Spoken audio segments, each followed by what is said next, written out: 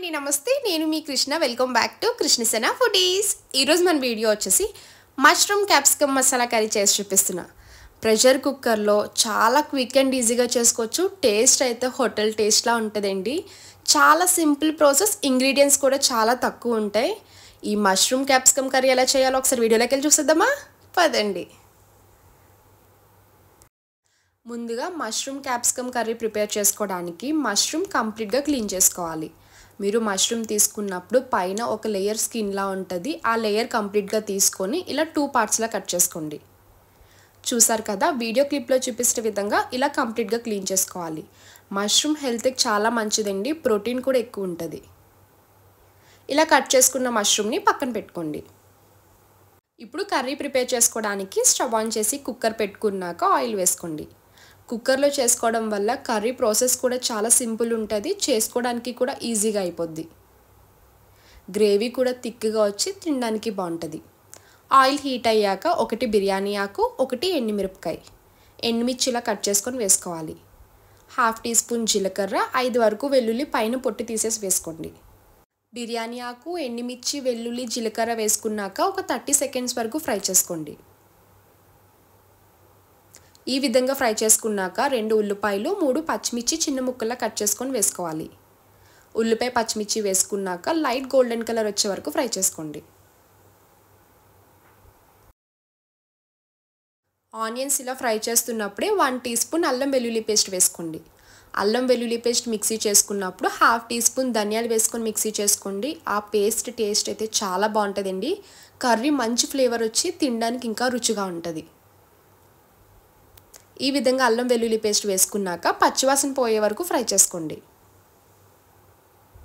చూడండి ఆనియన్స్ కూడా కంప్లీట్గా ఫ్రై అయిపోయాయి కదా అల్లం వెల్లుల్లి పేస్ట్ కూడా కంప్లీట్గా ఫ్రై అయిపోయింది.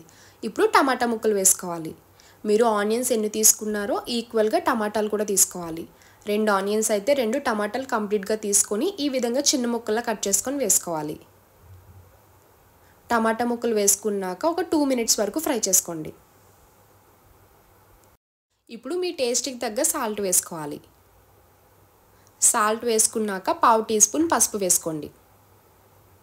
మీరు స్పైసీ ఎంత తింటారో చూసుకొని కారం వేసుకోవాలి. సాల్ట్ పసుపు కారం వేసుకున్నాక ఒకసారి మొత్తం అంతా కలిసేలా కలుపుకోండి.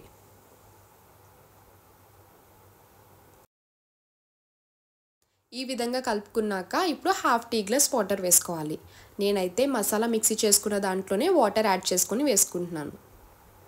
వాటర్ వేసుకున్నాక ఒకసారి గరిటతో కలుపుకొని కుక్కర్ మూత పెట్టి టూ విజిల్స్ వచ్చే వరకు కుక్ చేసుకోవాలి. కుక్కర్ విజిల్ వచ్చేలోపు క్యాప్సికమ్ మష్రూమ్ ఫ్రై చేసుకొని పక్కన పెట్టుకోవచ్చు. స్టవ్ ఆన్ చేసి ప్యాన్ పెట్టుకున్నాక టూ స్పూన్స్ వరకు ఆయిల్ వేసుకోండి. చూసారు కదా క్యాప్సికమ్ ముక్కలు లోపల సీడ్స్ తీసేసుకొని ఈ విధంగా ముక్కల్లా కట్ చేసుకోవాలి.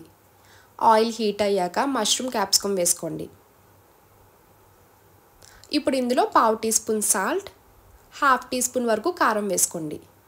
ఇలా సాల్ట్ కారం వేసుకోవడం వల్ల ముక్కలకు పట్టి తినడానికి కూడా టేస్ట్ బాగుంటుంది. కారం వేసుకున్నాక మొత్తం అంతా కలిసేలాగా బాగా కలుపుకుంటూ దగ్గరికి కుక్ చేసుకోవాలి. మష్రూమ్ లోపల నుంచి అలానే క్యాప్సికమ్ లోపల నుంచి వాటర్ రిలీజ్ అయ్యి ఆ ఎక్సెస్ వాటర్ అంతా అబ్జార్బ్ అయ్యే వరకు కుక్ చేసుకోవాలి. ఇలా ఈ విధంగా సపరేట్గా ఫ్రై చేసుకోవడం వల్ల కర్రీ టేస్ట్ కూడా చాలా బాగుంటుంది. చూడండి ఈ విధంగా వాటర్ రిలీజ్ అవుతుంది కదా ఈ వాటర్ అంతా అబ్జార్బ్ అయ్యే వరకు కుక్ చేసుకోవాలి.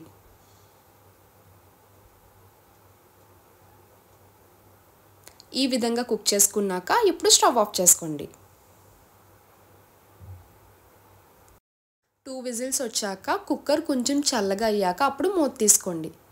చూడండి ఆనియన్ టమాటా కూడా సాఫ్ట్ అయిపోయింది కదా. ఈ విధంగా గరిటతో బాగా స్మాష్ చేసుకోవాలి. ఇప్పుడు వన్ టీ స్పూన్ వరకు గరం మసాలా పౌడర్ వేసుకోండి. ఈ గరం మసాలా పౌడర్ తప్ప ఇంకా స్పైసెస్ ఏం వేసుకునే అవసరం లేదండి. ఎందుకంటే అల్లం వెల్లుల్లి పేస్ట్ వేసుకున్నప్పుడు ధనియాలు వేసుకున్నాం కదా మీరు ధనియాలు స్కిప్ చేసుకునేలా ఉంటే ఇదే టైంలో హాఫ్ టీ స్పూన్ వరకు ధనియాల పొడి వేసుకోవచ్చు. గరం మసాలా పౌడర్ వేసుకున్నాక ఒక నిమిషం పాటు కలుపుకుంటూ కుక్ చేసుకోండి. ఈ విధంగా దగ్గరికి కుక్ చేసుకున్నాక ఇప్పుడు ఫ్రై చేసుకున్న మష్రూమ్ క్యాప్సికమ్ ముక్కలు వేసుకోండి. మష్రూమ్ క్యాప్సికమ్ వేసుకున్నాక గరిటతో మొత్తం అంతా ఈ మసాలా పట్టేలాగా కలుపుకొని ఒక టూ మినిట్స్ వరకు కుక్ చేసుకోవాలి. మసాలా మొత్తం పట్టేలాగా ఈ విధంగా కలుపుకున్నాక ఇప్పుడు హాఫ్ గ్లాస్ వాటర్ వేసుకోండి. వాటర్ వేసుకున్నాక మొత్తం అంతా కలిసేలా కలుపుకొని కుక్కర్ మూత పెట్టి ఫైవ్ మినిట్స్ వరకు కుక్ చేసుకోవాలి. ఆయిల్ రిలీజ్ అయ్యి సపరేట్ అయ్యే వరకు థిక్ గ్రేవీ వచ్చేలా కుక్ చేసుకుంటే సరిపోద్ది.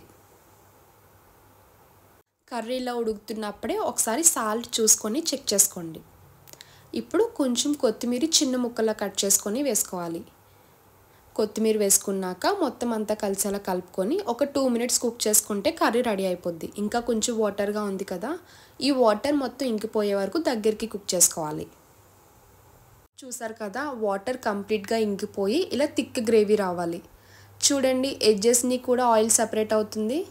ఈ విధంగా ఆయిల్ సపరేట్ అయ్యే వరకు గ్రేవీలా కుక్ చేసుకుంటే సరిపోద్ది. రైస్ రోటీ బిర్యానీలోకి అదిరిపోయే బెస్ట్ కాంబినేషన్ అండి కర్రీ. టేస్ట్ అయితే చాలా బాగుంటుంది. ఈ విధంగా కుక్ చేసుకున్నాక ఇప్పుడు స్టవ్ ఆఫ్ చేసుకోండి. చూసారు కదా ప్రెషర్ కుక్కర్లో mushroom capsicum masala curry ready అయిపోయింది. చాలా తక్కువ ఇంగ్రీడియంట్స్తో మంచి టేస్ట్ వచ్చేలాగా చాలా సింపుల్ ప్రాసెస్లో చేసి చూపించాను. ప్రోటీన్ ఎక్కువ ఉండి మష్రూమ్ మసాలా కర్రీ ఒకసారి ట్రై చేయండి. పిల్లలు కూడా చాలా ఇష్టంగా తింటారు. చూసారు కదా మష్రూమ్ క్యాప్సికమ్ మసాలా కర్రీ నా వీడియో మీకు నచ్చితే లైక్ చేసి షేర్ చేయండి. ఇలాంటి మరిన్ని ఇంట్రెస్టింగ్ వీడియోస్ కోసం కృష్ణసేన ఫుడ్డీస్ని సబ్స్క్రైబ్ చేయండి. Bye friends thanks for watching